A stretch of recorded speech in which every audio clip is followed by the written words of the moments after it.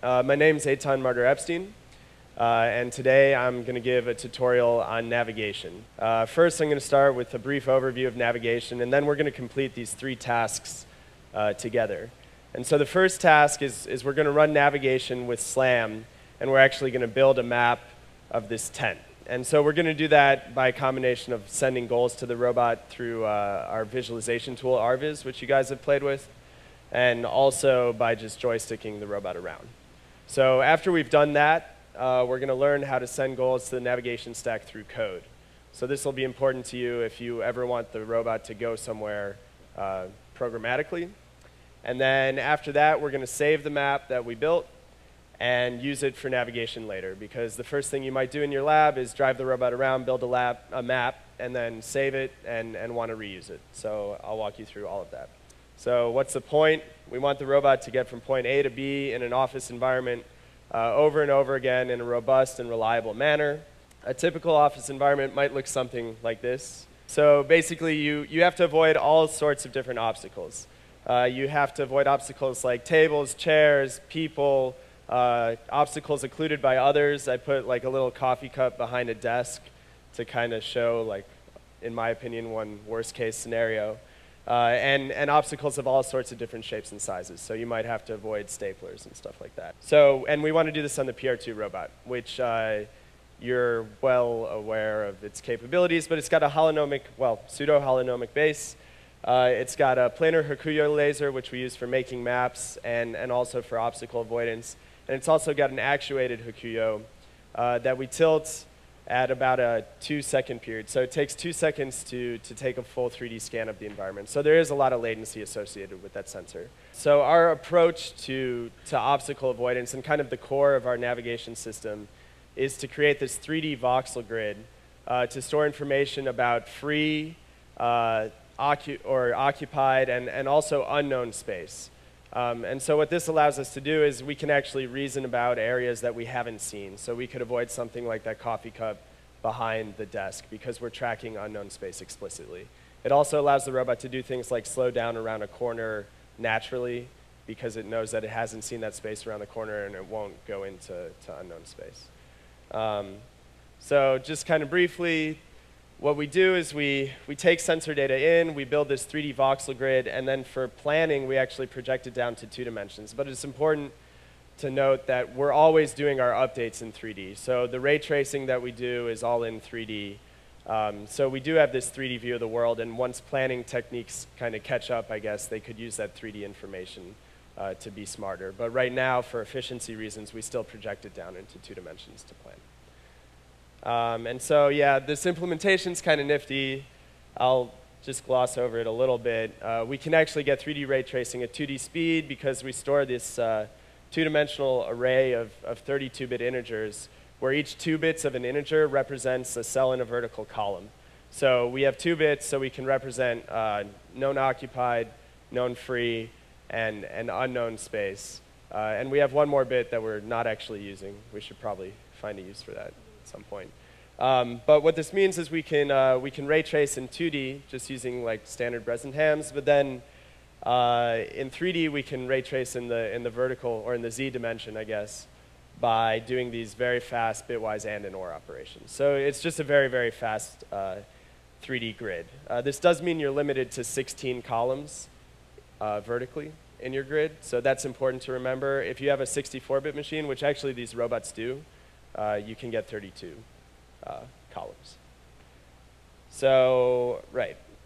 So before we take the sensor into the grid, uh, we pass it through a sensor processing pipeline, which I'm also just going to talk about briefly. So we need to do things like filter out uh, shadow points. So when a laser hits a surface at a high incidence angle, you may actually get false positives. Um, so we filter those out. Also, you may get hit points on the robot's body, so we filter those out. And we also want to filter the, uh, the ground plane um, out of our sensor data, but also still recognize small obstacles like the book in front of the robot uh, on the screen right here. And I think what you'll notice today is that this floor is not flat. So you may see some interesting false positives in our ground plane detection. We're working to improve that in C Turtle. We're hoping to have an improvement for it, but we're running Box Turtle code, unfortunately. So do expect to see some false positives on the ground, I guess, when you're running today. Um, for our global planner, we just use a grid-based planner that uses an A-star heuristic. And it's important to know that it's, it's optimistic, so it's using the inscribed circle of the robot to plan. So there, there are actually cases where the global planner can tell the robot to do something infeasible um, because it is planning with just a circle. Uh, so we also have this local planner that takes the global plan and tries to follow it, uh, taking into account the dynamics of the robot. So it just uses the dynamic window approach, which I'm sure a lot of you are familiar with. Uh, and it checks collisions uh, using the full footprint of the robot. So the gist of it is it rolls out a number of possible trajectories and just picks the one that scores the best based on some cost function and also a collision-free path. All of this kind of comes together in the navigation stack. Uh, and I really hate talking through system diagrams, so I, will just put this up briefly. But um, you can see that there are a whole bunch of nodes that correspond to different things. So we've got these two cost maps. If you see the global cost map and the local cost map, which are these voxel grids that I was talking about before. So they build up our 3D environment, and we can do obstacle avoidance in them. Then we have our global and local planner, and all of those are integrated into one ROS node. So we want communication between those components to be efficient, so we put them inside of a node. Um, another thing to note is that both the global and local planner are plugins. So if you were so inclined, you could replace one of them with your own implementation without replacing the rest of the navigation stack. So I guess this is just kind of an example of how ROS gives you a lot of flexibility because you can swap out any of these components for something you write without losing uh, the rest of the work that we've done for navigation. So the hope is that if you see something today where you say, man, like, you know, Eitan, your local planner sucks, I'll be like, okay, that's great, but uh, you can write your own and we can compare them, and I'd, I'd love to take yours if it's better than mine. But we don't lose the rest of the work that I've done. So, okay, so now uh, I'm going to talk a little bit about the flavors of navigation that ship with the PR2. Uh, so navigation has one kind of core set of configuration files, but, but we run, the, we run uh, in slightly different um, manners. So the first is we ship with an application that allows you to do navigation in, in the odometric frame. So this means you don't have any map, uh, you actually get drift from your odometry, but it's really good for doing stuff like, say, moving 10 feet in front of you given you detected uh, an object. We use that a lot.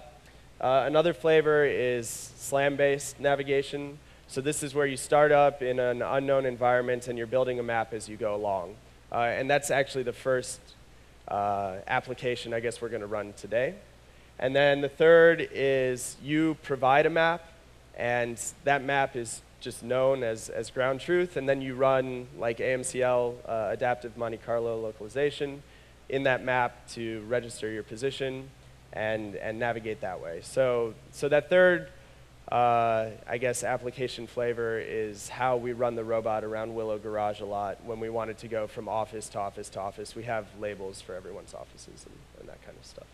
So we have this first task, which is to make a map. And before I have you guys do that, I'm just going to kind of show an example of what's going on. So here in RViz, there's a special, oh, awesome.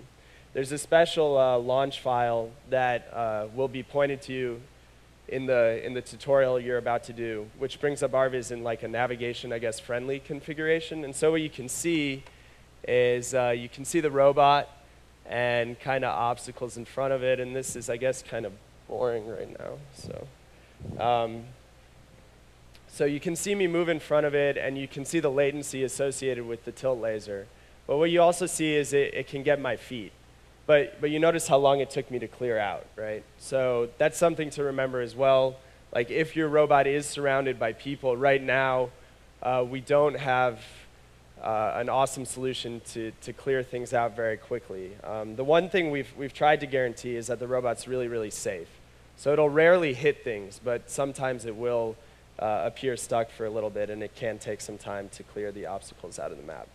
Um, and then, then, so the other thing I can do is uh, I can use RViz to say send a goal to the navigation stack. So I can tell it to move just a little bit forward and it'll go where I tell it to. So you kind of get the idea. And also you can see that this is constructing a map, so it's kind of growing at the, at the back end of the screen.